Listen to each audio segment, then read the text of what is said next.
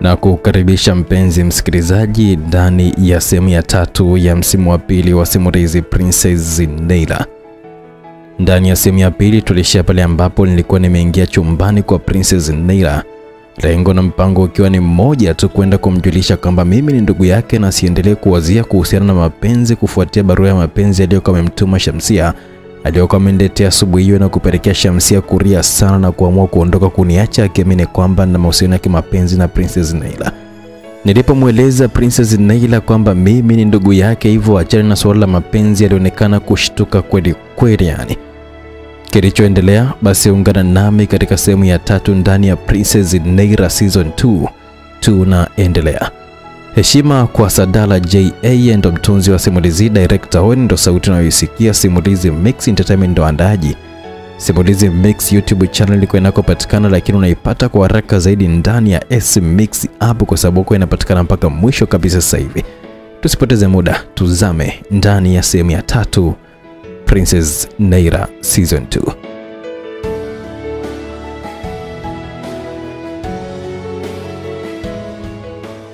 Hebu niambie vizuri Fadi, maana naona unanichanganya tu hapa. E, nieleweshe basi, wewe nani yangu? aliuliza Princess, mara nyingine asiamini kabisa kauli ile ya mwanzo, Nami nilimtazama machoni mwake na kutingisha kichwa kumthibitisha kauli ile ni kweli, lakini pia niliambatanisha na sauti kabisa. Huu si wakati wa kudanganyana na kupotezeana muda. Princess, amini usiamini, wewe ni dada yangu kabisa, na mimi ni mtoto wa Marikia Daviela kwa Habibi. Mimi ndiye mkubwa, naitwa Prince Fahad Habibi. Kuanzia sauti ulijua hilo.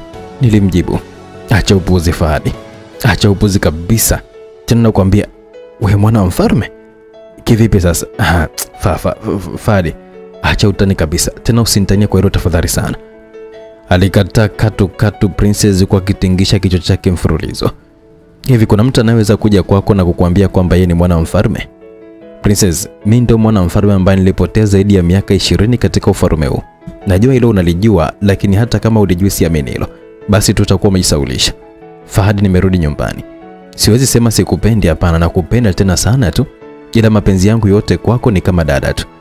Siku ile nilikueleza na nikakwambia kwamba uachane na mimi, siku ukiupata ukweli utakuliza, lakini masikio yako uliyafunga kwa pamba ngumu usiweze kusikia sauti yangu nilipokuwa nazungumza. Sasa ufunge moyo wako katika jina la mapenzi kwa Fahadi, tafuta mtu mwingine umweke kwenye hiyo nafasi uliyompa Fahadi. Kumbuka hakuna mapenzi ya kaka na dada. Amini usiamini, huko ni kumkosea muumba wa mbingu na ardhi, ambazo ndizo hizi ambazo tunatembea na kudunda juu yake. Mimi na wewe tunaungana na saba. Mapenzi yote uliyoyafungua juu yangu yapindue na unipe haki kama kaka. Heshima yako dada yangu. Nilizungumza kwa sauti ya upole iliyojaa unyenyekevu fika. Nilihisi huenda Princess, kwa vile masikio yake yalionekana kuwa wazi, angelikuwa ananisikiliza kwa mzingatio mkubwa, lakini kumbe nilikuwa najidanganya mwenyewe. Princess hakuwa na habari kabisa kwa kile nilichokuwa nakisema. Ndo kwanza alisimama na kusogea kwenye meza ya matunda, akabinua kikapu kilichobeba matunda na kuchukua kisu kidogo kitumikacho kwa ajili ya kumenyea. Haraka alikipandisha na kujikingia shingoni. Alinitazama huku machozi yakimtoka, akasema, Fahadi, kama unanikataa ni bora uniambie tu, kama unanikataa ni atoe maisha yangu. Ukiona huenda moyo wangu utaridhika. Sina haja ya kuendelea kuishi ili hali ninachokipenda mimi sikipati. Eti wewe ni mwana wa mfalme? Inakuwaje ili hali mama niambia kwamba mtoto wa mfalme alishakufa? Fadi, niambie kama unanipenda, na kama unipendi sema, niatoe tu maisha yangu hapa hapa, ukishuhudia na wewe ndio utakuwa chanzo cha kifo changu Fahadi, alisema Princess huku akianza kupitisha ncha ya kisu chake shingoni mwake hata damu kuanza kumchuruzika, lakini hakujari, ni kama alikuwa hapati maumivu kabisa. Princess Naila, tafadhali na kuomba usifanye hivyo, nisikilize kwanza, nikueleze. Achana na habari za kisu kwanza. Sitakusikiliza kwa lolote Fadi, na kuomba uniambie kitu kimoja tu, unanipenda au unipendi eh? alisema Princess huku akizidi kuizamisha ncha mbele ya kisu kwenye nyama ya juu ya ngozi bila uoga dhahili. Alionyesha hatani kabisa, na kama nitacheza basi nitayapoteza maisha yake. Sijui hata nimweleweshe jile nielewe. Alipofikia sio kuzuri kabisa, na sikufikiria kama ananipenda kiasi hiki. Niliendelea kujiuliza kabla sijatoa uamuzi wa swali alilokuwa ameuliza Princess, lakini kabla sijafumbua kinywa kumjibu, naye alidakia na kupaza sauti kuuliza, nijibu basi, unanipenda au unipendi? Aliuliza kwa sauti ya ukali kweli kweli. Na na nakupenda, nakupenda Princess. Yale yote niliyokuwa nakwambia ilikuwa ni utani tu. Kweli tena, nilikuwa nakutania tu. Basi weka kisu pembeni princess, tuongee vizuri, acha kucheza na maisha yako tafadhali. Nakuomba sana princess. Unaongopa Fahadi, wewe unipendi. Najua wazi kwamba una mapenzi na yule kijakazi Shamsia. Mimi nimekuwa kivurugi kwenye penzi lenu, acha nife kama unipendi Fahadi, alisema princess huku akilia kwa uchungu kweli kweli. Hapana princess, ukifa mimi nitabaki na nani? Acha kabisa kufikiria hivyo, niliuliza kwa madaha huku nikianza kumlia timing ya kuondoa mkono ule wenye kisu shingoni mwake. Lakini pia princess naye nahisi alishtukia kabisa, kwani alizidi kuizunguka meza kadri nilivyokuwa nazidi kumsogelea. Princess, niliita, acha nife Fahadi, naona kwako sina thamani kabisa, naendelea kulia tu kila siku. Ujue ni kiasi gani nakupenda, lakini hata tone moja la furaha ulionyesha ukiwa na mimi. Sasa na muhimu gani wa kuishi huku nikikosa kile ambacho ninakihitaji na kukithamini? Fahadi, nimekonda kwa ajili yako kutwa nikikuwazia wewe, lakini kwa ajili tu ya Shamsia umenishusha thamani kabisa. Sasa maisha yangu yana umuhimu gani eh? Acha nife, acha nife Fahadi, alisema huku akizidi kuzamisha ncha ya kile kisu taratibu. Princess, princess, nisikilize kwanza. Nikusikilize nini Fahad? Sina cha kusikiliza, ni bora tu nife. Princess, nakupenda tafadhali, usifanye hilo nataka kulifanya. Embo, ondoa hicho kisu shingoni tafadhali. Yalizungumza kwa upole, lakini Princess alikuwa mgumu kunielewa. Nilijitahidi kumsia toe kisu kile shingoni mwake, lakini wap, Princess alidhamiria kabisa kujiangamiza. Nilitazama meza ile haraka, umbali aliposimama Princess na urefu wa meza ile. Nilipiga hesabu haraka namna ya kuweza kutua baada ya kuruka juu ya meza, kisha nikajifiatua haraka sana na kujibinua juu ya meza ile na kufuata hesabu ile ile niliyokuwa nimepiga haraka nikatua kwa mguu mmoja huku macho yangu yakielekea kisu kile alichokuwa amejiwekea shingoni Princess.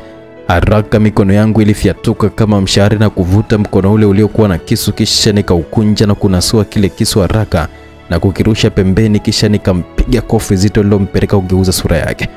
Mpumbavu wewe, unataka ujue kisa mapenzi? Nilifoka baada ya kumwachia na adhabu kali ya kofi lile zito. Fahadi, umeamua kunipiga kweli? Kuonesha hisia zangu umeamua kunipiga? Basi nipige uridhike moyo wako, nipige sasa, alisema Princess kwa uchungu kwa kilia. Maskini. Nilimtazama Princess nikamwonea huruma sana, kisha nikamvuta na kumkumbatia kwa nguvu. Fahadi, kwa nini lakini umeshindwa kuthamini hata hisia zangu eh? aliuliza, lakini nilikuwa kimya tu nikitafuta njia nyingine ya kumtoka. Lakini nikiwa bado nimekumtia Princess, ilisikika sauti iliyotoshitua fika na kuyafanya mapigo ya moyo wangu ya dunde kwa fujo kwelikweli. Princess, ujumbe wako nimeufikisha. Ilikuwa ni sauti iliyorarua moyo wangu, ingawaje kabla ya kutizama miguu ilianza kutetemeka na lilidhihirika baada ya kugeuka na kumkuta Shamsia akiwa kasimama ndani ya chumba cha Princess. Alinitazama huku macho yake asifiche kabisa huzuni ya moyo wake.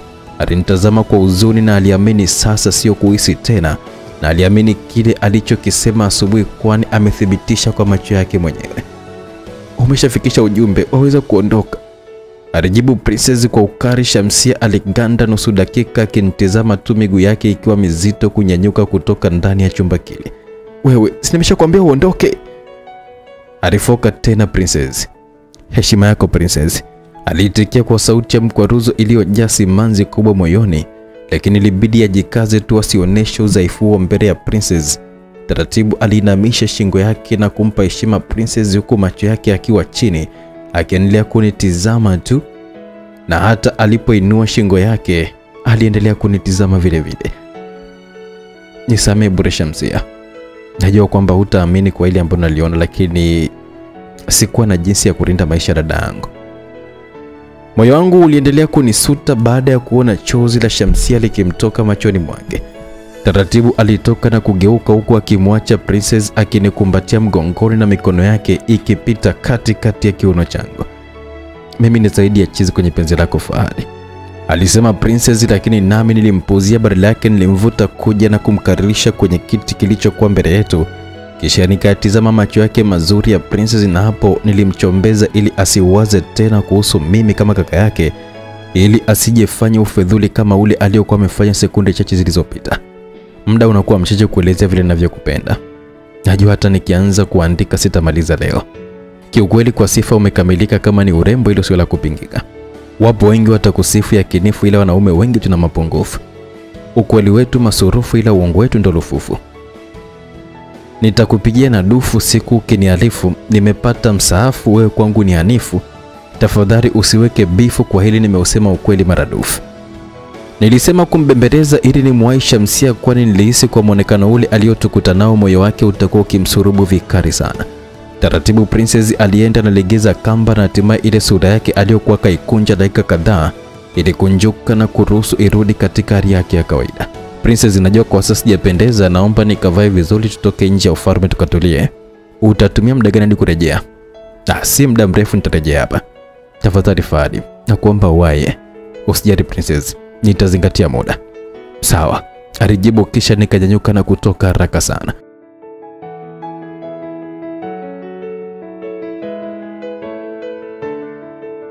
Nilitembea kwa mwendo kasi huku macho yakiangalia njia nzima, huenda ningemwona Shamsia nimpe ukweli ambao nahisi ungemweka huru, lakini njia nzima kuonekana kabisa Shamsia. Niliangaza kona zote ambazo nilihisi ningempata, lakini majibu hayakubadilika kabisa.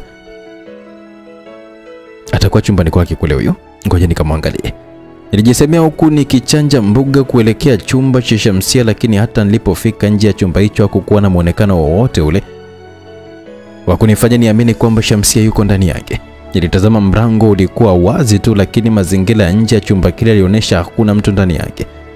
Nilisogea kwa ukaribu na kupitisha jicho ndani kuhakikisha, lakini pia hakukuwa na majibu kabisa.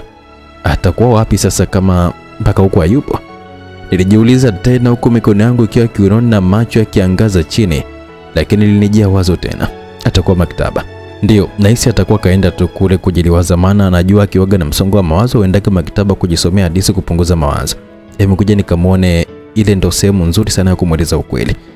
Nilijisemea kisha nikageuka haraka ili nielekee maktaba. Mguu mosi niliunyanyua na kukanyaga ardhi ya jengo la kifarume kuelekea maktaba taratibu kabisa. Sura yangu ilianza kukunjuka na kuonyesha tabasamu mwanana kama ua linalochanua asubuhi. Macho aliniongoza njia, miguu ikanifikisha kwenye chumba kile cha maktaba ambacho watoto wa matajiri na baadhi ya wanafunzi hufika hapo kwa ajili ya kusoma historia mbalimbali. Nilichungulia kupitia dirishani na kumwona Shamsia akiwa mwisho kabisa kama ilivyo kawaida yake, akiwa ameshika kitabu kilichoandikwa My Last Cry kwa maandishi makubwa kabisa kabisa kama title ya kitabu kile. Nilifikicha mikono kuondoa uoga ulioanza kunizunguka, kisha nikazunguka na kuingia ndani ya chumba kile. Wanafunzi walishtuka kuniona tena, kwani walikumbuka tukio la siku kadhaa tokea ni mjibu kwa ukari Princess Neira. Kwa pamoja walisimama, wapo walioanza kunong'ona, ni mwana wa mfalme huyu, embu mpeni heshima yake. We, mwana wa mfalme kivipi? Wakati ni mfanyakazi tu huyo. We, acha kusema hivyo, akikusikia eh, utaangamia na kwambia. Zilikuwa ni sauti za wanafunzi wawili waliokuwa wamekaa viti viwili vya mwanzo kabisa wakibishana. Niliwasikia lakini niliwapita kama vile sijawasikia, kwani macho yangu yalikuwa katika kiti cha nyuma kabisa alichokaa Shamsia tu akiwa mpweke kajinamia akisoma kitabu. Fahadi, sitaki kuona mbele yangu, alisema Shamsia punde tu baada ya kumfikia, na wanafunzi wote walitaharuki kusikia sauti kali aliyoichia Shamsia. Waligeuka na kutizama nyuma kwa pamoja, huku macho yakiwatoka kwa mshangao kwelikweli. Shamsia, tafadhali hebu nipe nafasi nijieleze. Nimesema staki, Aring'aka kisha akasimama na kutoka nje akiniacha nikiwa nimepiga magoti kuelekea kiti alichokuwa amekalia. Haraka nilisimama huku nyuma, vicheko vikali vya wanafunzi vikinisindikiza kutoka nje. Shamsia, we Shamsia, nilimwita, lakini Shamsia alizidi kutembea kwa kasi tu na hakutaka kuweka kituo kunisikiliza. Niliongeza kasi na kuudaka mkono wake wa kulia, kisha kwa unyonge sana nikazungumza. Tafadhali Shamsia, naomba unisikilize, niachie fadi na kazi nyingi za kufanya kwa sasa, sina muda wa kufuatilia mapenzi tena, na kuomba uniache, alisema. Lakini ikiwa bado nimemshika vile vile, walikuja walinzi wawili wa ufalme wakiwa wameshika majambia yao vyema kabisa. Walipofika walinitolea salamu kwa heshima kabisa. Heshima yako e mwana wa mfalme, walisema kwa pamoja wakiinamisha vichwa vyao. Kuna nini? Niliuliza. Mfalme anakuhitaji. Kuna shida gani? Hatujui mheshimiwa, ila amekuomba uende haraka sana, kuna jambo la muhimu. Basi tangulia nakuja. Mheshimiwa, mfalme ametujuza, amesema kwamba ni faraga na ni muhimu sana, tunaomba tuongozane. Mmoja kati ya walinzi wale alisema, na hapo mshangao mkubwa ulimkuta Shamsia na kuyatoa macho pima. Hakuyaamini masikio yake kabisa kwa kile alichokuwa nakisikia. Eti mwana wa mfalme? Aliuliza kwa mshangao Shamsia, nami taratibu kibosi kabisa niliuachia mkono wake ili niende kumsikiliza mfalme. Leta mchezo nini? Mwacha gezalau wakati mwingine. Pumbavu. Ah, ah, hayo nimeongeza mi director weni bwana. Ah, sio maneno ya bwana Fahadi hayo bwana bwana. Haya, niongozeni njia. Sawa mkuu.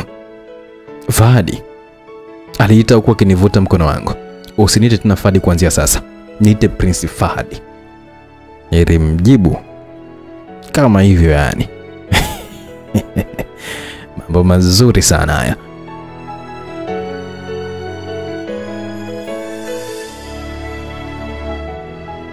Kwa kweli, msikilizaji, Shamsi alinitazama kwa unyonge, akalegeza macho kuonyesha kujuta kutokana na kosa alilotangulia kulifanya mwanzo, na amelimtizama kwa jicho baya ajabu, kwani kitendo kile cha kunizadua mbele ya wanafunzi kiliniumiza sana, na sikutarajia kama ingelikuwa vile. Taratibu alipiga hatua ili anikumbatie, lakini walinzi waliliona hilo, walisogea na kumvuta kumsogeza pembeni kwa nguvu, kisha nikageuka na kumwacha akiendelea kupiga kelele za kuniita kwa fujo, lakini nami nilifanya kibri kwa kumfungia dirisha masikio iwe kama sisikii sauti yake. Nasema tena, pumbavu. Ah, huyo ni mi director wen. Tuendelee bwana. Fahadi, tafadhali simama, aliita tena huku akiruka juu na kubamiza miguu yake huku macho yake yakiruhusu kuniacha nikiishilia konani na walinzi wale. Nye, mmesema mfalme yuko wapi? Niliuliza baada ya kuona tukipita njia tofauti inayopeleka hadi kilipo chumba cha mfalme. Yupo majengo pacha. Majengo pacha ndo wapi? Ah, sio mbali tu kutoka hapa. Nye, simliambia kwa chumbani kwake? Tusamee mheshimiwa, tulitaka tukutoe pale kwa yule dada, kwani mfalme ameomba iwe siri sana jambo hili, asitambue mtu yote kinachoendelea. Mmoja alijibu, nami niliposikia vile ilibidi nitulize akili yangu, kisha tukaongeza mwendo kutembea kwa kasi mno. Njia nzima nilipopita, watumishi wa jengo lile la kifalme waliopata habari zangu juu ya cheo cha uwana wa mfalme walikuwa wakinamisha vichwa vyao kwa heshima kweli kweli. Kwa mara ya kwanza nilitembea nikitabasamu ndani ya jengo hilo kwa heshima niliyokuwa napokea kutoka kwa watumishi mbalimbali wa ufalme. Lakini pia mawazo yalikuwa yakirudi nyuma na kuwafikiria maasimu wawili Yazidi na Malkia Natifa ambao wao ndio wanatia kiza katikati kabisa ya njia yangu ya mafanikio. Nye, mbona leo tumepita kwa njia tofauti au mnaniongoza kwenda wapi? Sijaelewa vizuri. Niliuliza huku nikiangaza huku na kule, kwani niliona wakiniongoza njia tofauti kabisa na ile niliyozoea mara kwa mara kuipita nikiwa naenda kwenye chumba cha mfalme. Mmoja aliyekuwa mbele alisimama akageuka, kisha akarudi hatua kadhaa na kutoa heshima yake, kisha akaendelea. Heshima yako bwana mfalme. Mfalme katuomba tukulete huku kukutana na Malkia Daviera. Alijibu, Malkia Daviera huku anatafuta nini wakati chumba chake tumekiacha kule? Niliuliza tena. Mfalme kuna maasibu yanayomsumbua kwa zaidi ya lisali moja sasa. Alimwomba malikia afike amweleze, lakini baada ya muda kidogo akatupa amri tuje tukuite, huenda ana jambo jema mfalme analotaka kukuambia. Alijibu, kwani ni mbali sana kutoka hapa? Hapana, kutokea hapa tulipo kitakuwa kimebakia chumba kimoja tu kuweza kufika chumba kilichohifadhiwa mfalme. Alijibu, kwa hiyo huko ndiko majengo pacha? Ndiyo mheshimiwa, alijibu na kuinamisha shingo yake kwa heshima na utiifu baada ya kutoa maelezo yake yaliyokuwa ameufanya moyo wangu kuridhika kwa kiasi. Sawa, twendeni haraka, nilijibu, kisha tukaendelea kutembea kwa kasi kuikaribia kona ile aliyokuwa amesimama mlinzi yule, lakini baada ya kuimaliza kona ile sote tulianza kukimbia, kitendo kilichoacha midomo wazi. Walinzi wa doria waliokuwa wakizunguka na mikuki jengoni hapo walishindwa kabisa kutotilia wasiwasi na hawakuweza kujua kama tunaelekea kwa mfalme, kwani wengi wao hawakunitambua vizuri kutokana na kutembea nikigeuza sura yangu pembeni ili wasiweze kunishtukia. Kwa mbali mlinzi yule alionyesha kwa upanga akisema kwamba tumefika na hapo tukaongeza mwendo tena kukisogelea chumba kile ambacho mazingira yake yalionyesha ni tulivu sana. Nye, mna uhakika mfalme yuko hapa? Mbona pamepoa sana, kuna watu kweli hapa? Niliuliza huku nikiendelea kupindua shingo kuangaza maeneo yote yaliyozunguka nyumba ile ambayo ilikuwa imeungana nyumba mbili ambazo zilikuwa na miundo inayofanana. Ndio mheshimiwa, wetu amini, alijibu. Sasa huku si mafichoni kabisa kweli, hakuna hata walinzi wanaozagazagaa huku. Hmm. Mfalme ana jambo gani la kuniita sehemu kama hii? Nilijiuliza huku nikizidi kukagua mazingira vizuri ya eneo lile la siri. Mlinzi mmoja alisogea karibu na mlango kisha akanyoa kitasa cha mlango ule na kuanza kupiga hatua taratibu, huku nyuma yake macho yangu yalikuwa makini sana kumwangalia mlinzi mmoja aliyesimama kushoto kwangu, hasa macho yake yaliyokuwa yanalenga sana mkono wake aliyokuwa ameshika jambia. Na mlinzi yule mwingine, baada ya kugonga mlango kwa awamu kutumia kitasa kile, alirudi nyuma kusubiria mlango ule ufunguliwe. Vipi, wameitika? Ah, naona kimya au tumechelewa kaondoka? Hapana, sio kirahisirahisi kiasi hicho. Itakuwa tu labda umekosea namna ya upigaji mlango, haujapiga kama ambavyo mfalme alivyotuelekeza. Ah, mbona nimepiga vile vile? Huenda wakawa wametoka sasa, maana hawataki kujulikana kama wako hapa. Hapana bwana, hebu rejea kapige tena, haiwezekani aondoke mapema kiasi hiki. hatujitumia muda mrefu mbona? Alisema mlinzi ule kwa swali kwa akimtizama mwenzie aliyekuwa akitizama chini tu. Wakiwa bado wanaendelea kusemezana walinzi wale, sauti finyo ya mrango kufunguliwa kwa tahadhari sana ilisikika. Wote wakanyanyua macho yao, pima mioyo yao ikachanua kwa furaha. Macho yalinyeuka na kutizama mbele, na si wao tu, hata mimi niliutazama kwa umakini sana mlango ule uliokuwa unafunguliwa taratibu kwa awamu. Ni yeye, twendeni, huyo hapo Malikia. Mmoja aliyekuwa kushoto ndiye aliyeona vizuri mkono ule uliokuwa umetoa ishara ya wito baada ya mlango kuwa wazi. Kwa pamoja tukatembea kwa kasi kusogelea mlango ule. Macho yangu yaligota ndani kabisa, ambako kulikuwa na mwanga hafifu usiong'arisha chumba na kukifanya kuonekana kuwa na kiza fulani hivi. Haraka tukazipanda ngazi mbili na kuingia ndani ya chumba kile ambako tulimkuta Marikia Davila pamoja na mfarume kama walivyosema walinzi wale. Na hapo mapigo ya moyo yalitulia na akili haikuwazia tena shari yoyote ile, baada ya kuona nimefika sehemu salama kabisa. Hamna mtu aliwashtukia? Mfarume aliuliza. "Ah, tumekuwa makini sana mfarume, hamna aliweza kutushtukia, alijibu mlinzi ule ambaye yeye ndo alikuwa akiongoza njia kutokea kule mwanzo. Ah, sawa, nyewe mnaweza kukaa hapo kwa hapo nje mtusubirie na muhakikishe kwamba hapiti mtu hapa jirani, alisema mfalme, na walinzi wale watiifu waliinamisha shingo zao na kuziinua, kisha taratibu aligeuka na kutoka nje.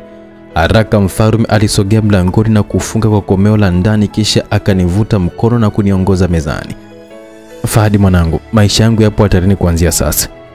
Malkia Natifa alipozinduka kawazuia wajumbe wote wasizuile kwa kinachofuata. Nahisi anataka kuipindua nchi, alisema mfalme. Baba, shh, shh. Zungumza taratibu, hii ni siri na sitaki mwingine ijue, na ndio maana nimewaita nyinyi mnaonihusu tu, ili mjue hili kuanzia sasa kwamba tupo hatarini, alisema mfalme. Lakini baba, wesi una nguvu ya nchi, Malkia atakutishaje ikiwa kwamba hana nguvu ya kijeshi? Niliuliza, lakini mfalme alinitizama tu akitafuta jibu la kunijibu, lakini kabla hajanyanyua kinywa chake kutoa jibu, Malkia Daviera aliingia kati na kujibu swali lile nilokuwa nimeuliza. Baba yako ana nguvu kama mnavyodhania, alisema huku akinitizama. Una maana gani kusema hivyo mama? Malkia Natifa kaitawala nchi na mara kadhaa alijaribu kumua baba yako ili mwanaye awe mfarume lakini ikashindikana. Sasa uliporudi wewe kwenye jengo hili, sasa uhasama ndipo ukakithiri mara mia ule wa mwanzo kama alivyotangulia kueleza baba yako, anamiliki wajumbe wote na jina lililo chini ya amri ya Malkia. Yaani baba yako yupo kivuli tu kwenye kile kiti. Fahadi mwanangu, tuna hali mbaya sana na tunahitaji mwanetu ifungue akili yako, kwani yote haya Malkia anataka kuyafanya kwa ajili ya mwanaye, alijibu Malkia Daviela. Na sio hivyo tu, muhuri wangu anaomalikia na muhuri ndio mambo yote ya nchi fahari. Kama utaweza utafute kwanza muhuri, tumpunguze nguvu. Bila ya hivyo, hii nchi itagawanyika sana. Sasa baba, mimi nitawezaje ili hali Marekani ni adui yangu tayari? Ah, wewe ni mwelewa, utajua tutafanya nini hadi kuukomboa muhuri ule. Kumbuka ule muhuri sio wangu tena, ule ni wako. Mimi nitakufa muda wote ule. Tambua Fahadi, wewe ndio mfarume ajaye baada yangu mimi. Pambania haki yako, usikubali haki yako ipotee, ili hali uwezo unao kuipambania haki yako. Kumbuka haki ya mnyonge haipotei, alisema mfalme. Fahadi, najua Sumia kakufunza mambo mengi sana kuhusu maisha, mapigano ya akili na nguvu. Hivi sasa pigana kwa akili, kuwavuruga kama ulivyovuruga katika mkutano ule hadi akazimia. Fanya kila uwezalo, hakikisha kwamba Malkia Natifa na Yumba asikuzoe na asikupelekeshe kama alivyompelekesha baba yako. Najua wewe ni shujaa, tena hata Sumia amekuita Fahad ili uje uoneshe taaruma yako ya ujasiri. Jasiri hachi asiri mwanangu, si tukifa utataabika. Pambana sasa kwa kipindi hiki ambacho Mwenyezi Mungu anatupa uhai, tusije tukaondoka tukakuacha unataabika mwanangu, alisema mama, maneno Usisimua sana mwili wangu. Baba na mama, nitalifanya hili. Nataka nione siku mkiondoka na kuniacha mkiwa mnatabasamu. Kweli mwanangu, muhuri ndio kila kitu. Usijali baba kuhusu hilo, ondoa shaka kabisa, nilimjibu. Kisha ukapita ukimya mfupi chumbani mule, huku kila mmoja akiwa kaweka pozi lake la huzuni Malkia Daviela yeye mikono yake alitua juu ya meza na kichwa chake akakitua juu ya viganja vyake. Macho yake yalionyesha marengelenge ya machozi huku mfarume yeye akiwa kalikumbata shavu. Usiku nitahakikisha kwamba nauchukua muuli huo, nilisema baada ya kuvunja ukimya mfupi uliokuwa umetawala, kisha nikasimama na kutoka baada ya kupewa ruhusa hiyo na wazazi.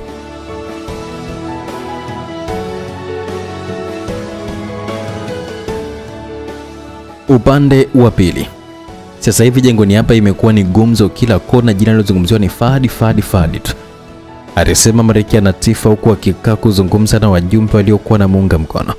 Ndio Malkia Fadi kwa sasa hazimiki kama ulivyoshuhudia usiku wa jana alipopata usaidizi Zahiri inaonyesha kwamba Prince Yazidi hapa atakosa haki yake kama Fadi ataendelea kuwapo hapa.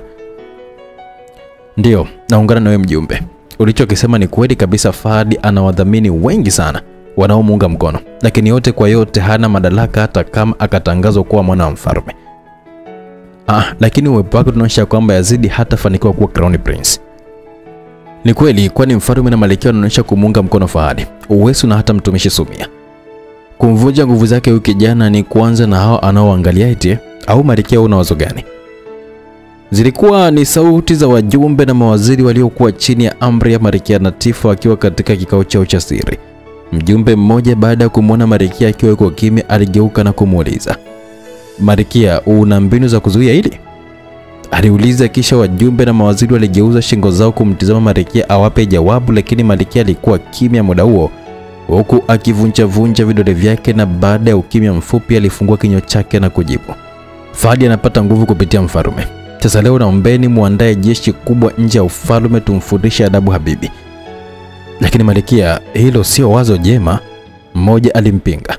Iwe isiwe leo lazima tumpindue mfarume basi. Kwa kuwa mjomba amekubali kuniletea usaidizi na kuungana na mimi, basi nampindua mfarume, alisema Malkia.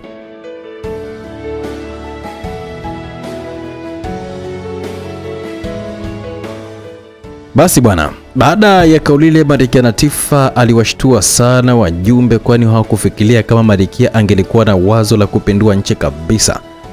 Kila mmoja alimgeukia mwenzake na kumtizama kwa hofu, na wengine mioyo yao iliwadunda kwa kasi. Uoga uliwatawala ghafla, hata kuviona viti vyao vikiwaka moto. Walikuwa wakiasiliba makalio yao juu ya viti vile. Yote ni kukosa utulivu kufuatia kauli ile ya Malkia lakini mmoja hakutaka kulificha pembe kabisa. Alisimama bila hofu na kupinga jambo lile. Hapana Marikia, kufikiri ni bora kabla ya kutenda. Hatuwezi kupindua nchi hii haraka haraka kiasi hichi, kwani kila mmoja anamtambua mfalme. Mfalme ni mtu mwelevu na akili yake inafanya kazi haraka. Kuipindua nchi na kujivika madaraka kimabavu ni sawa na kujichimbia shimo la kabuli na hujizike mwenyewe. Marikia. kumbuka mara ngapi mfalme amekinga ngome hii dhidi ya wavamizi waliotaka kuipora na kukumbusha tu kabla hujaruka agana kwanza na nyonga. Pumbavu wewe, ujingekana unaozungumza wewe, unataka kufa eh? Marigia alifoka huku sura yake ikikunjamana kwa hasira kali kupitiliza, na alionyesha dhahiri kwamba amegafilishwa kabisa vikali kwa kauli ya mjumbe yule. Na hata mjumbe alipoona marikia amegadhabika hata kusimama na kuchomoa upanga wa mlinzi mmoja aliyekuwa amesimama kando kando yake. Mjumbe ule alinyanyuka na kutoka alipokuwa ameketi na kwenda hadi pale alipokuwa Malkia, kisha akashuka chini na kupiga magoti huku pua yake ikigusa kwenye vidole vya miguu ya Marikia. Marikia naye kwa hasira alinyanyua upanga ule ili aondoe kichwa cha mjumbe ule, lakini kabla jambia lake halijamfikia shingoni, mjumbe yule alipaza sauti iliyomfanya Marikia asitishe zoezi lile. Lakini Malkia, hata kama ukiyatoa maisha yangu, kumbuka mfarume kwenye taifa hili ni mmoja tu na kiti pia ni kimoja. Ukimua yeye, mwanaye atarisi mikoba, yaani utakuwa umemfukuza paka asile nyama na hatimaye unamwachia fisi. Hata kama ukipindua meza kwa nguvu, kumbuka juu ya meza ile kuna vitu vya udongo, vipo vitakavyopasuka, vipo ambavyo havitapasuka. Amana ya nchi unajua iko wapi? Na je, kiapo cha mfalme utakuwa umekiangamiza? Marikia, wewe unashadilia kuipindua nchi tu vile mawazo yako yanavyokuelekeza, bila kujali kama kuna vitu vya muhimu unavyovipoteza hapa. Ni uwe tu ila ukweli na usema Malkia, kama vyote hivi huna, basi mpango wako utakuwa sio kupindua nchi tu, na utakuwa umeipindua nafsi yako mwenyewe tu kwa kukosa haya. Hujampindua bado, na kumbuka kwamba taifa hili la hisani, hivyo wewe ndio utakayepinduliwa, alisema mjumbe yule, huku machozi yakimtoka mochoni mwake na kuanguka juu ya ngozi ya miguu ya Malikia. Marikia alikuwa kama kagandishwa na sumaku. Upanga hakuweza kuondoa shingoni mwa mjumbe yule zaidi ya kumtoa matone na alama ya upanga tu baada ya kugusa ngozi ya nyuma ya shingo ya mjumbe yule. Ni kweli naungana na mjumbe Sami wa ngome ndogo ya mashariki. Kweli kabisa, Semaro mjumbe. Malikia, kuhusu jambo hilo litowezekana. Fungua mawazo yako na upokee mawazo yetu chanya na hasi. Malikia, licha ya kuwa unatarajia usaidizi wa mjomba wako wa kijeshi, lakini tambua kwamba ngome hii ni kubwa sana na yenye ramani ngumu kuielewa bila ya kuwa na mtu muhimu sana, basi hutafanikiwa kuvipata vitu muhimu. Vipo vitu vya siri sana anavyotakiwa kuwa navyo kiongozi, na vitu hivi anavyo mfarume pekee, ikiwemo jambia la kale ambalo linamtambulisha mfarume, na sio hilo tu, bado hazina kubwa ya nchi analijua chimbo mfarume. Eti umpindue? Hayo tutatolea wapi? Marikia, tuliza akili, fikiria na acha kukalili. Hili ni jambo la shari, linahitaji uweledi na umakini wa hali ya juu sana.